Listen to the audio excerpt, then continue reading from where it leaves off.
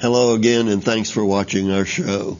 I'm Harry Greenberger. I'm the host for the show, and today we're doing something uh, different from what you may have seen in the past. We have three members of our organization who are also members of our board of directors, and uh, it was decided that each of them would pick a, an atheist, either historic or contemporary that they would like uh, to talk about. So what we're going to do today is we'll have an, an introduction of each of the three uh, atheists, and uh, then we will follow that with some discussion. So here to talk to us today are uh, Doug Stewart, Charlotte Klasson, and Lanny Goldfinch. Uh, thank you all for being here. And Doug, let's start with who you want to talk about. Uh, one of my intellectual heroes is uh, an atheist, Richard Dawkins. He's predominantly considered the number one atheist right now. Uh, he was born on 26th of March in 19, 1941 in Kenya, of all places. His father was a, a soldier in the British part of the British Empire. He moved back to England, to Oxford, uh, in when he was eight years old, and and he's a British citizen, as I am. I was, I was actually born in a town called Swindon, which was 30 miles south of Oxford. So, but anyway, he uh, became a evolutionary biologist. His uh, his claim to fame, his first claim to fame, was in 1976. He published a book called The Selfish Gene, which uh, predominantly had two major aspects to it. First, uh, from an evolutionary biology perspective, it, it focused on the gene centered way of reproduction, rep- replicators. So everything, the reason everyone is here now is because our genes, going back millions and millions of years, have been successful. That's that was the number one focus. Number two is he invented the, well, he he proposed the hypothesis, I guess, of, of memes. Memes. He he coined the word meme. A meme is like a gene, but a meme isn't something you can see. It's an idea or a, a philosophy. That's M E M E. M E M E. All right. And of course, uh, examples of memes are like, you know, wearing a baseball cap backwards.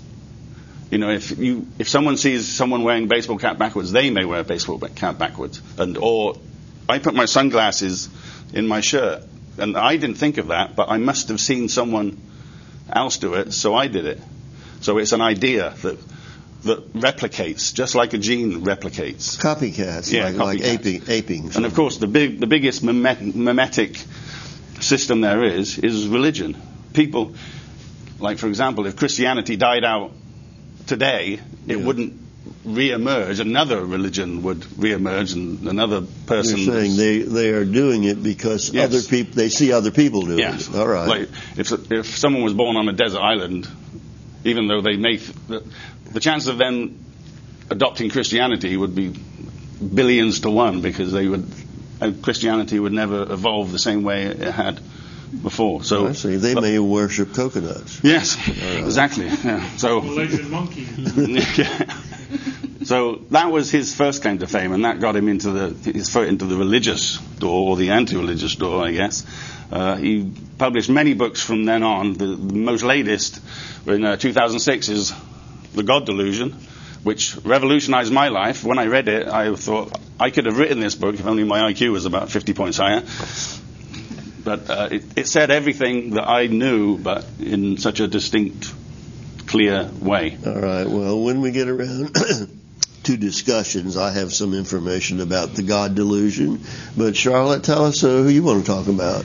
Uh, my atheist is Margaret Sanger, and her being an atheist is kind of uh, minor compared to what she did in terms of history. She was born in 1879 in Corning, New York, and died in 1966. And she is probably the reason we have the modern uh, uh, legal rights that women have uh, are still fighting for today. Uh, she, in her lifetime, she was named one of Times Magazine's 100 most important people of the 20th century, and that's huge considering that there are probably not that many women in the list. I didn't have a chance to look.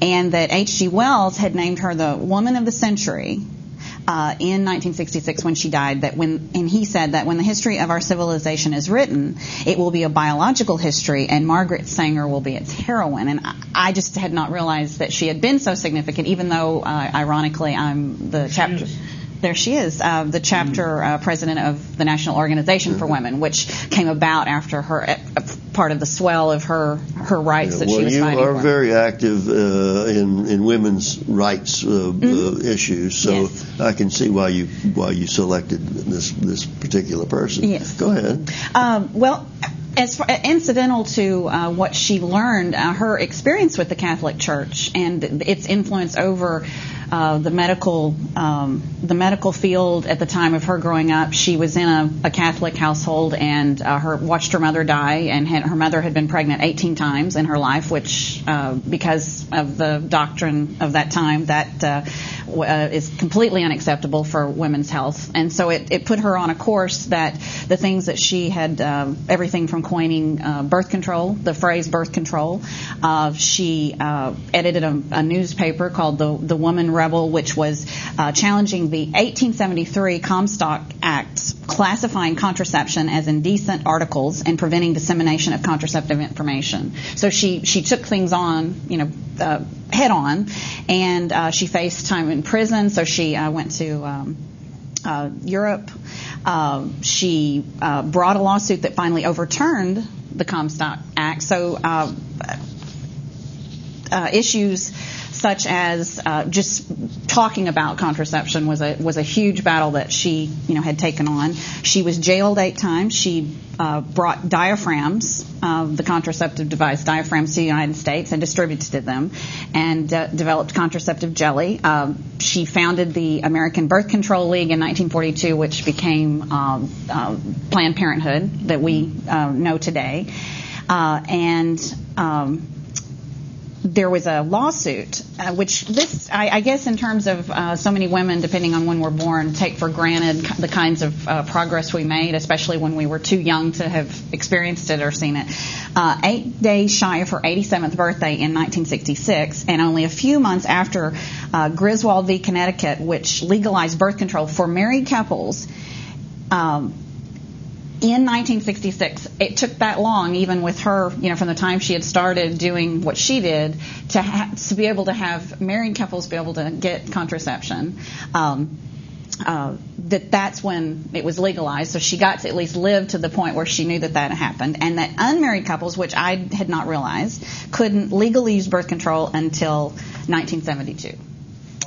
Let me just throw something in, and then we'll get to, Mm-hmm. to Lanny. But uh, after all of this success in making it legal for women to have the right to birth control, Mm-hmm. today's newspaper has an article that says abortion pill approval condemned by the Vatican Mm-hmm. because in Italy they just approved the RU whatever it is 486. for the, uh, an abortion pill, and the Vatican says that they will excommunicate a, a doctor who prescribes it and a woman who uses it. Mm-hmm. So after all of this advance, we are still in the dark That's ages. right. That's right. We're still fighting it, and but I I want to say as my Well, parting. Vatican well, The- the, the world, the world. the, as my parting thought is, as I think that if this woman had not existed, we may not have made the strides that we've made in in the way that we made it. Of and so that's just a tremendous contribution that she made that was independent of being an atheist. Sure. Well, we're going to talk yeah. about all that after Lanny tells us about his Oh choice. boy, Frederick Nietzsche.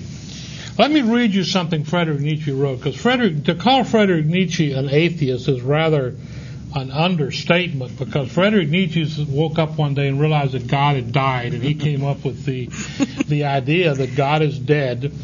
Uh, 150 years ago, or so roughly, God is dead and Mary is his mother was one of the things he one of the, one of the statements he came up with. Nietzsche was uh, not so much an atheist as he was an anti-religious person, anti-Christian, particular Christian person. And one of the things that he says was that Christianity is a slave morality, he called it, and a social illness. He says it's the worst thing that ever happened to Western civilization. A derivative and resentful value which can only work by condemning others as evil. And you just gave an example here.